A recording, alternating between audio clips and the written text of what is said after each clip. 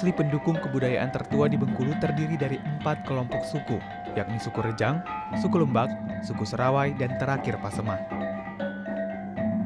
Suku Rejang disebut-sebut sebagai suku yang paling banyak populasinya dan tersebar di banyak daerah di Bengkulu. Salah satunya di Kabupaten Rejang Lebong, sekitar 80-an kilometer dari kota Bengkulu. Ekspedisi kali ini pun akhirnya menuntun kami datang ke daerah ini untuk mengenal lebih dekat kehidupan masyarakat suku Rejang, khususnya di kota Curug, ibu kota kabupaten ini.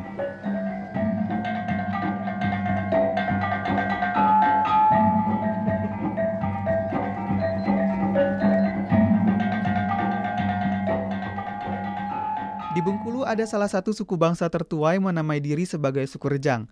Nah, sebenarnya ada banyak versi mengenai akar dari asal-usul suku Rejang ini sendiri. Namun yang pasti pemirsa bahwa suku Rejang ini dalam bertutur memiliki bahasa sendiri yaitu bahasa Rejang sebagai bahasa ibunya, kemudian juga memiliki aksara-aksara tertentu dari suku ini sendiri. Nah, kemudian juga dalam potret kali ini, saya akan mengajak Anda untuk mengenal lebih dekat bagaimana suku Rejang ini sendiri dan nilai-nilai apa saja yang terkandung dalam kearifan lokal masyarakatnya. Dari Kabupaten Rejang Lebong, Bengkulu, inilah potret memaknai suku Rejang.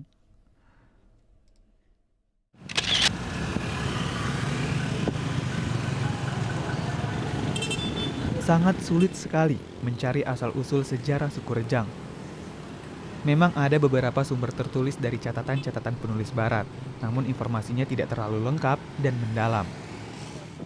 Tapi suku Rejang bisa dikategorikan sebagai Proto-Melayu, yang berarti sebagai salah satu suku tertua di Pulau Sumatera. Kisah sejarah suku bangsa Rejang dibagi jadi dua bagian, yaitu sejarah Rejang Purba dan sejarah Rejang Modern.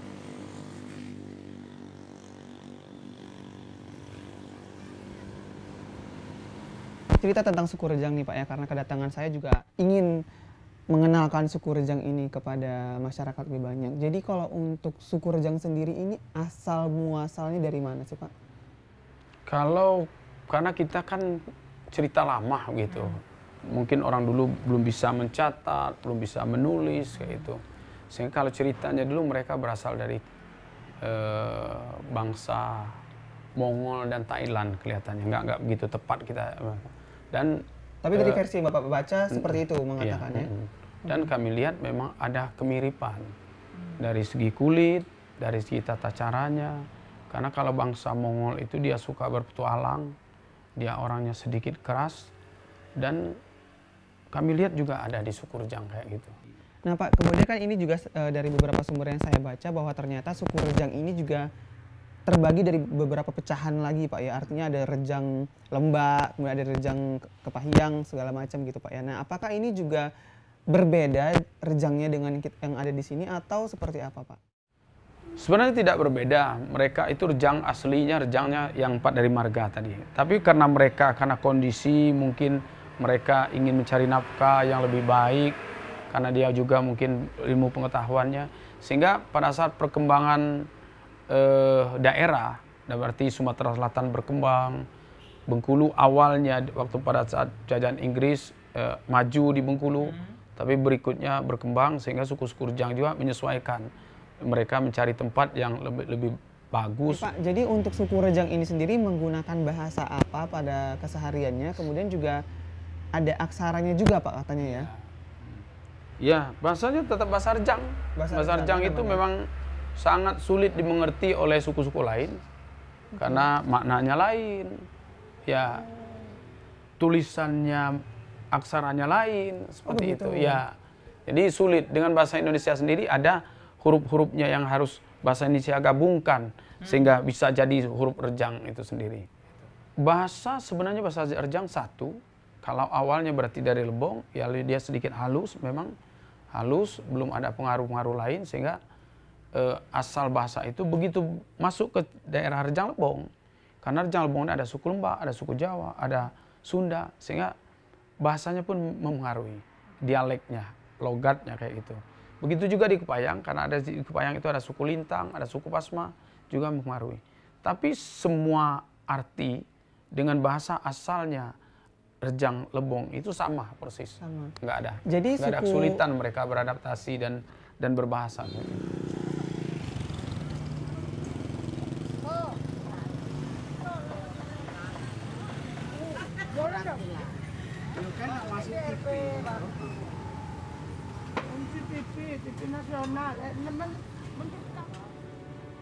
Berdasarkan tambo atau cerita rakyat, pembabakan kisah sejarah suku Rejang Purba dimulai dari masa kedatangan kelompok bangsa Mongolia di Bintun Bengkulu Utara. Sehingga, dari versi sejarah Rejang Purba, leluhur suku ini diduga berasal dari bangsa Mongolia Cina Utara, yang arus perkembangannya berasal dari Bidara Cina melewati Pagar Uyung, juga dari Majapahit di Jawa. Di masa itu mereka sudah mengenal bahasa Rejang, aksara, sistem pengetahuan, sistem organisasi sosial, sistem peralatan hidup, religi, dan kesenian. Sedangkan sejarah Rejang modern dimulai dari munculnya empat petulai, yakni suatu wilayah yang dinaungi seorang pemimpin disebut ajaib. Nama Rejang konon berasal dari kata merejang, artinya berjalan tanpa arah dan tujuan. Asal-usul etnis Rejang dalam sejarah Rejang modern ini dikaitkan dengan riwayat empat biku dari kerajaan Majapahit di Jawa. Empat biku tersebut bernama Biku Bermano, Biku Bembo, Biku Bejenggo, dan Biku Sepanjang Jiwo. Mereka berlayar melalui pantai barat Sumatera hingga menempati wilayah Sungai Ketahun dan menetap di Renah Sekalawi atau Pinang Berlapis.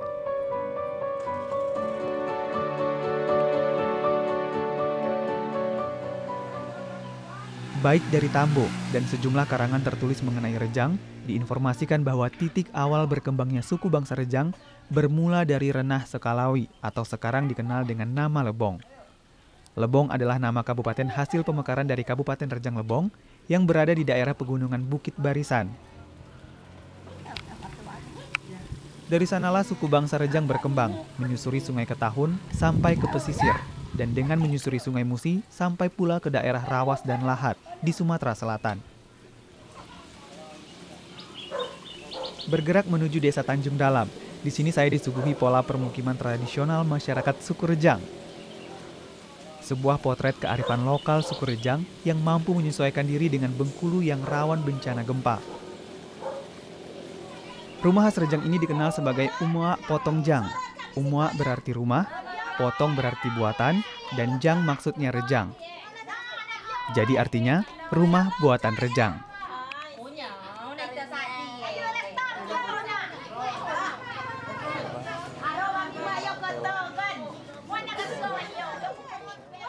Di daerah ini bahasa Rejang kedudukannya sebagai bahasa ibu, artinya bahasa Rejanglah yang pertama kali dikenalkan sejak mereka lahir.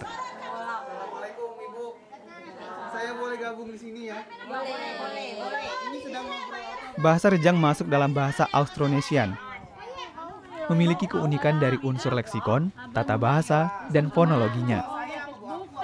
Dalam bahasa Rejang dikenal dialek-dialek seperti dialek Rejang Kepahiang, dialek Rejang Curup, dan dialek Rejang Lebong.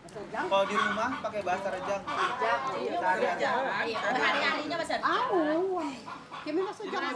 Ketiga dialek ini memiliki perbedaan dalam penuturan bahasa, namun, meskipun dialek dari ketiga bahasa Rejang tersebut relatif berbeda, tapi setiap penutur asli bahasa Rejang dapat saling memahami walaupun terdapat perbedaan kosakata pada saat komunikasi berlangsung. Sambil bercengkerama belajar bahasa Rejang, kami menikmati hidangan khas suku Rejang, namanya tipeh bisei. Makanan yang selalu hadir saat sedang berkabung ini terbuat dari tepung beras dan berinti kelapa. Bujang hati tunak ti. Apa tuh artinya? Kau masih bujang, masih single. Oh, saya masih bujang. Oh, ya, ada. Ini sudah hari ke-6.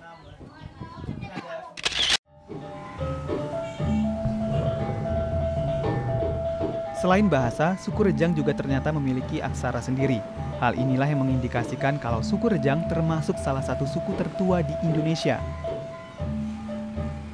oleh para peneliti, huruf ini disebut kaganga karena pedoman aksaranya menggunakan huruf K, Ga, Nga, dan seterusnya. Namun ada pula yang mengenal aksara kaganga dengan istilah aksara ulu karena banyak berkembang di masyarakat hulu sungai. Aksara kaganga berkerabat dengan aksara rejang, kerinci, lampung, rencong, bahkan aksara batak. Kaganga diperkirakan berkembang dari aksara Palawa dan Kawi yang digunakan oleh kerajaan Sriwijaya.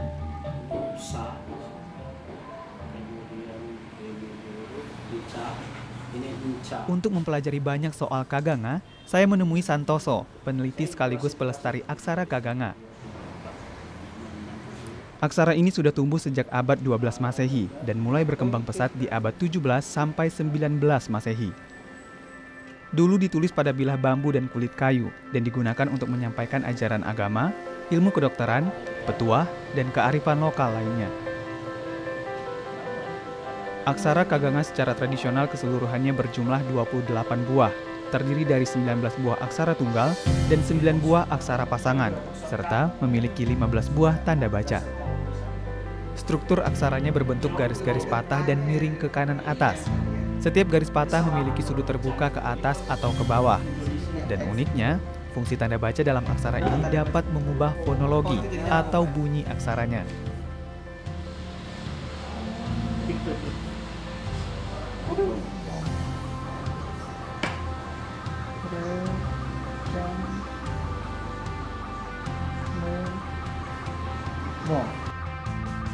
Kalau dulu aksara ini tertulis di media bambu dan kulit kayu sebagai prasasti, kini Kaganga justru tersedia dalam media komputer. Aplikasi yang ia ciptakan ini adalah upaya untuk melestarikan dan memudahkan masyarakat menjaga eksistensi aksara Kaganga. Untuk menulis di sini, di sini saya gunakan huruf G besar. Jadi ini Pak cerita tentang perkembangan tulisan uh, Kaganga sendiri Pak ya, aksaranya Kaganga sendiri. Nah ini seperti apa perkembangannya dari masa ke masa nih Pak? Eh, kalau berkembang dan banyak digunakan itu di zaman abad-abad mungkin kalau di Rejang ini abad setelah eh, akhir-akhir Majapahit. Nah, artinya kurang lebih Kaganga juga eh, abad-abad itu, abad-abad 12 13 lah. sampai datangnya peng- pengaruh Islam. Nah, begitu pengaruh Islam, Kaganga ini mungkin sudah agak pudar. Karena apa?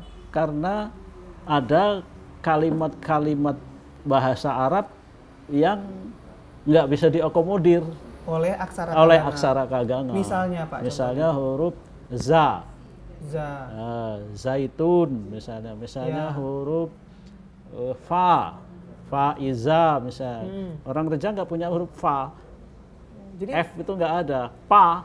Pa. Jadi kalau ngomong pa, faiza jadi Paija. paija. Kemudian dengan berkembangnya budaya tulis Melayu Arab, Hmm. orang lebih banyak dan penyebarannya lebih banyak dibaca sampai ke Malaka, Melayu Arab itu kan eh, sampai ke Jawa yang berpengaruh. Ya orang nggak terlalu lagi memakai kaganga. Makanya kaganga makin lama makin agak ditinggalkan itu. Padahal dulu termasuk budaya tulis yang cukup menyebar. Apa sih Pak yang perlu kita kuasai sehingga bisa eh, menulis aksara Kaganga ini Pak? Eh, ya, yang jelas pertama kita harus kenal dulu hurufnya, ya, hurufnya satu persatu. Yang paling mudah itu mengurutkan bentuknya secara struktur, karena orang du- orang rejang itu berpikirnya dulu su- sudah sistematis. Ternyata Bapak juga akhirnya mulai eh, memunculkan satu inovasi baru begitu. Artinya Kaganga ternyata bisa dinikmati ataupun bisa ditulis di komputer begitu Pak. Ya, ini, ini kenapa Pak termotivasi akhirnya memunculkan sebuah aplikasi yang Saya belajar membuat desain font di rejang ini. Nah, saya tulis, saya buat programnya untuk menulis eh, rejang menggunakan komputer. Dan itu sangat mudah. Dan tadi kepentingannya untuk pelestarian. untuk pelestarian ya untuk pengembangan pelestarian untuk kata-kata yang misalnya berubah jadi sa jadi se apa Upaya pelestarian aksara Kaganga juga berlangsung dalam sistem pendidikan masyarakat Rejang. Sekitar tahun 2003, Dinas Pendidikan daerah ini juga memasukkan aksara Kaganga dalam pelajaran muatan lokal di sekolah-sekolah.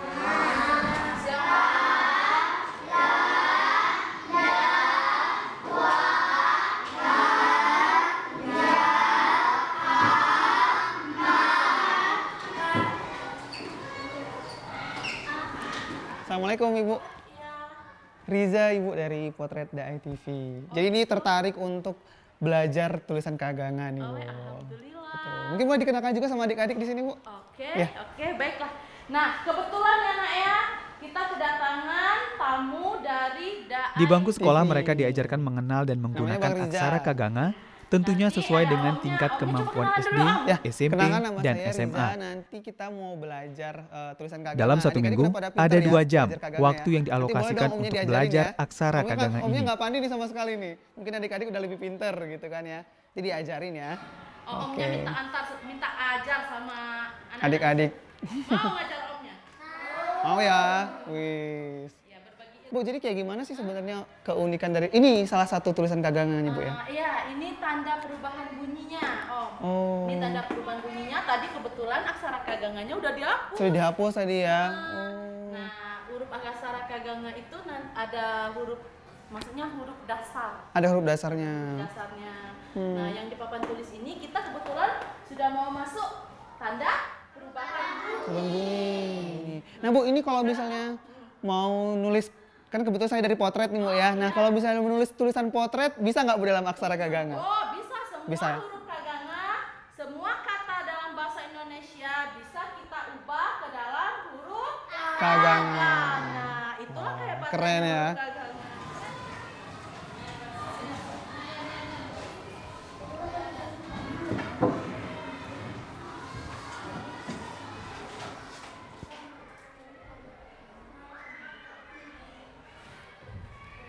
Nah pemirsa, ini tadi kita sudah menulis aksara kaganga, yaitu tulisannya potret.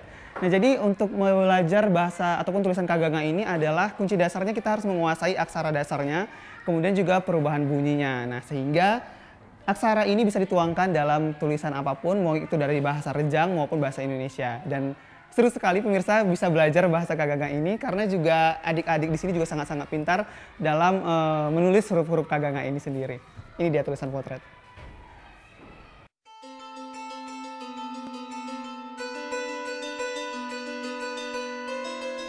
Masyarakat suku Rejang di masa lalu banyak memiliki benda-benda pusaka penting.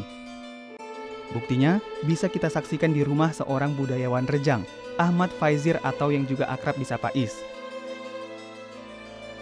Ia adalah keturunan Pangeran Mat Ali, bergelar Panglimu Garang, salah satu penguasa wilayah Rejang pada masa itu.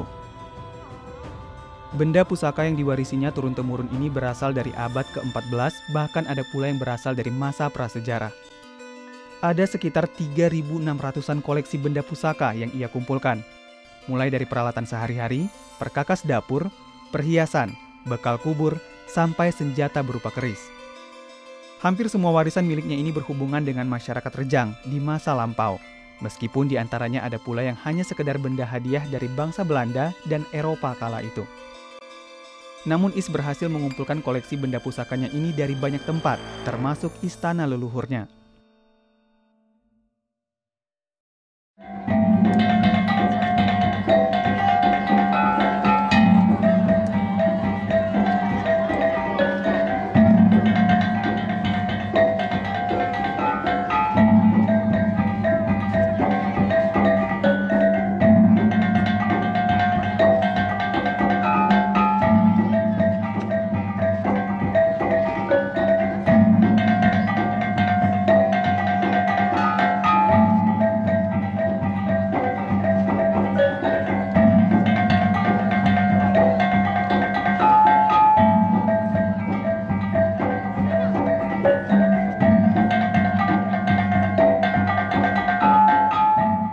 Salah satu kegiatan adat dan budaya masyarakat Rejang yang memiliki kedudukan penting adalah ritual upacara dan tarian kejai.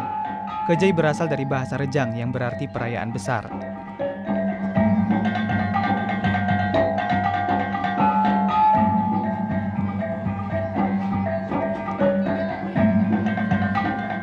Upacara dan tarian kejai ini dilaksanakan di Balai Kejai, sebuah tempat yang dibuat khusus untuk melaksanakan seluruh prosesinya.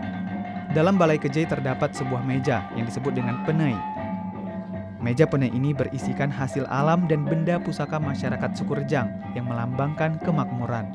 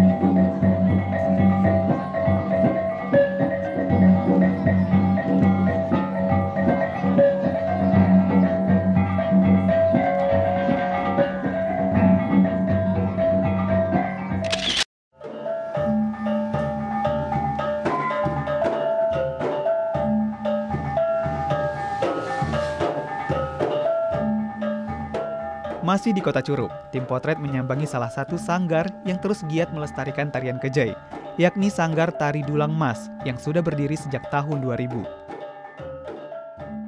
Tari kejai termasuk tarian tradisional, dilakukan berpasang-pasangan antara putra dan putri.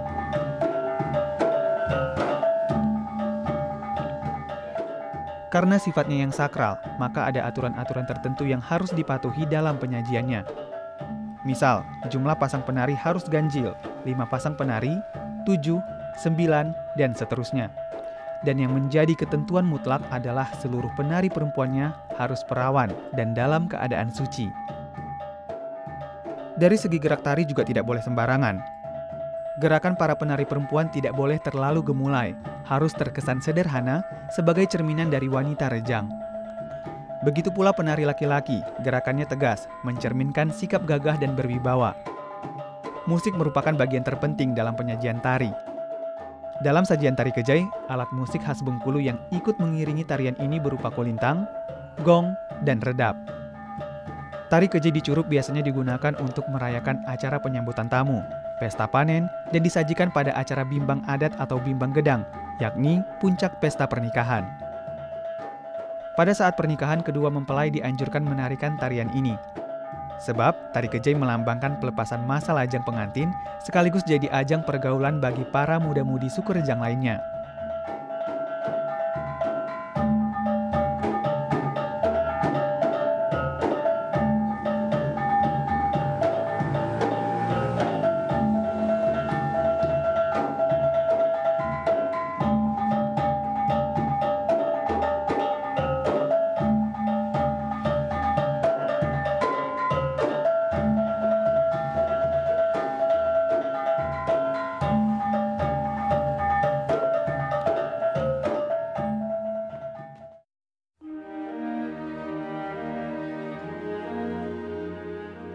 Suku bangsa Rejang banyak menarik perhatian dunia ilmu pengetahuan. Hidup berlandaskan adat dan tradisi adalah dasar tata tertib kehidupan orang-orang Rejang. Di perjalanan kali ini, saya tidak hanya sebatas mengenal suku Rejang, tetapi lebih meresapi nilai-nilai yang terkandung di setiap lini kehidupan suku bangsa Rejang. Selalu ingat, buka mata, hati, dan telinga, karena ada banyak nilai berharga yang bisa menjadi potret bagi masa depan kita.